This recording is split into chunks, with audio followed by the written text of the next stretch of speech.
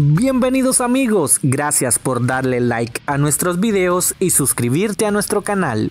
Aunque se conoció que después de su préstamo al grupo Pachuca, el Motagua inscribió al defensor Denil Maldonado en la Liga Nacional, según información de directivos, existe una oferta oficial por la ficha del futbolista en la que ya hay un acuerdo. Denil Maldonado sería vendido a talleres de la Superliga de Argentina, a falta de la decisión que tome el futbolista, y aún se desconoce si jugará en Motagua o se marchará a su nuevo club en Argentina. No, ahorita pues ya sentarme con mi agente, eh, vamos a platicar cómo está el tema y bueno, a la larga pues creo que es, todo se lo dejan en manos de Dios. Sí, lo que pasa es que siempre surgen algunos temas, obviamente hay que analizarlo y platicarlo con mi agente y obviamente con los clubes. ¿Qué es lo más cercano, talleres o quedarte en motor? Sí, 50 y 50 todavía no, no, no tengo claro mi futuro, como vuelvo a repetir, eh, eh, tengo que platicarlo con mi agente y ver las posibilidades. ¿Qué te gustaría? Como vuelvo a repetir, lo que Dios quiera, creo que eh, siempre eh, Motagua es un club grande acá de Honduras y bueno, creo que la mejor decisión creo que se va a tomar. Triste el caso cuando el mal manejo de tu vida privada opaca tu talento. Este es el caso de Kervin Arriaga que de nuevo fue noticia. Era parte de la delegación de la selección de Honduras para viajar a los Estados Unidos a Minnesota. Ahí mismo se iba a quedar para firmar con su nuevo club en esa ciudad. Pero ahora todo está en el aire. A Kervin Arriaga no lo dejaron salir del país porque tiene una alerta migratoria por una demanda alimenticia Esperamos que pueda resolver este problema pronto y pueda firmar con el club Minnesota United. Iba a aprovechar el viaje con la selección para quedarse un día más allá, para poder conocer, conversar con la gente del Minnesota y después ya muy, muy probablemente cerrar los términos de, su posible vinculación. Así que ahora al darse el, acontecimiento este lo que hace es eh, atrasar un poco esa, esa situación. Eh, obviamente él deberá de, resolver y entiendo que está resolviendo su caso personal para después coordinar con Minnesota para ver qué día puede viajar y poder entrevistarse con, ellos. Sí, sí, sí, hemos estado en comunicación, ellos tienen, tienen, clara, eh, tienen claro cuál, qué es lo que está sucediendo y también están a la expectativa de, de que lo que determine para ver qué día puede viajar el jugador.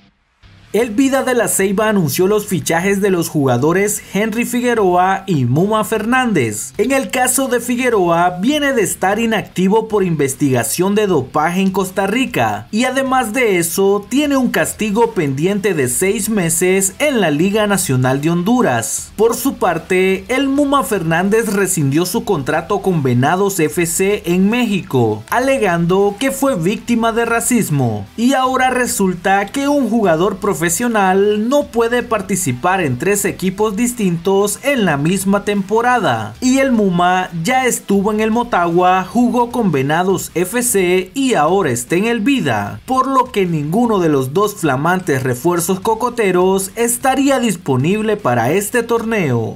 A tratar de hacer las cosas bien, adaptarme lo más antes posible y, y empezar a sumar. La verdad que hay un buen proyecto, lo demostraron el torneo pasado y y vamos a pelear por el campeonato, que yo siento que hay un buen equipo. Han hecho las cosas bien y, y el desde el torneo pasado se dio el interés de la Junta Directiva en mi servicio, pero no habíamos concretado nada porque me había salido una oportunidad en el exterior y desde que, desde que quedé libre la primera opción siempre fue vida.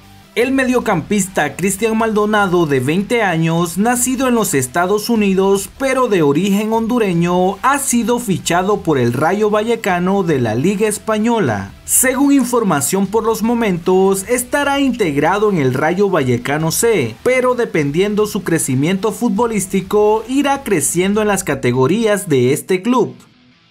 La selección de Honduras pasó de generar ilusión a tristeza y enojo, y este es el punto donde se comienzan a buscar culpables. Pero ¿cómo se le va a exigir a jugadores mal formados y en pésimas canchas y algunos sin esa garra catracha? Ante ello el técnico poco o nada puede hacer, más que venir a cobrar y llevarse el dinero por intentar hacerlos competir. Los directivos mal invierten los pocos recursos recursos de la federación, no hay formadores en las ligas menores ni las condiciones óptimas para hacer crecer el fútbol en Honduras. En el país no existen buenas canchas, lejos de los países vecinos que poco a poco han ido trabajando y hoy se ven los resultados. Honduras no es capaz de ganarle a ninguna selección en competencia. Y ante la pregunta ¿quién es el culpable? Desde mi punto de vista todos tienen un grado de responsabilidad en esto.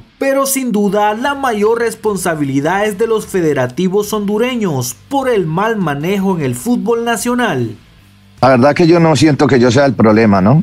Te digo claramente, eh, yo llegué para, eh, cogí una herencia, y lo he repetido, una herencia donde estaba de última cuando llegué, casi eliminada. Eh, no hemos, eh, estamos haciendo eh, estamos formando, nos queda muy difícil.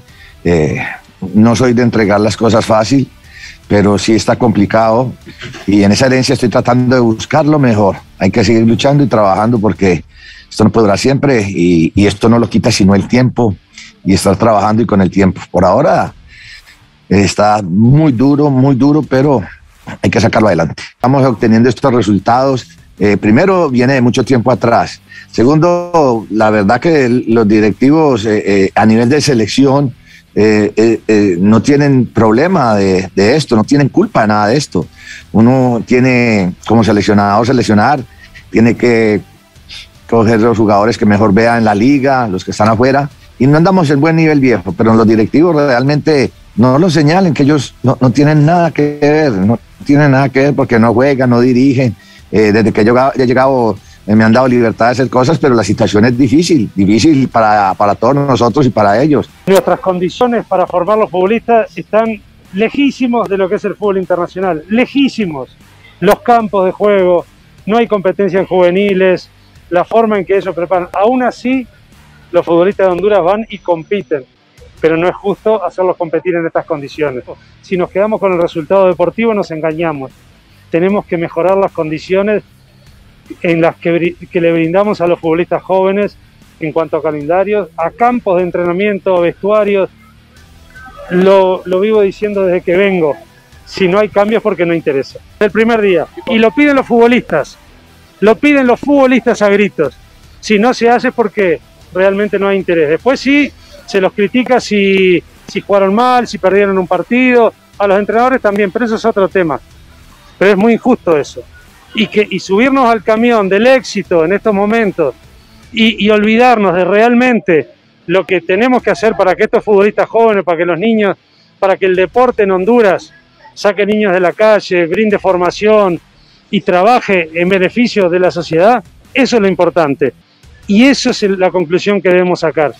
Amigos, muchas gracias por ver nuestros videos. Recuerden suscribirse a este canal si aún no lo han hecho, darle like y dejarnos en un comentario su opinión sobre los temas mencionados en este video.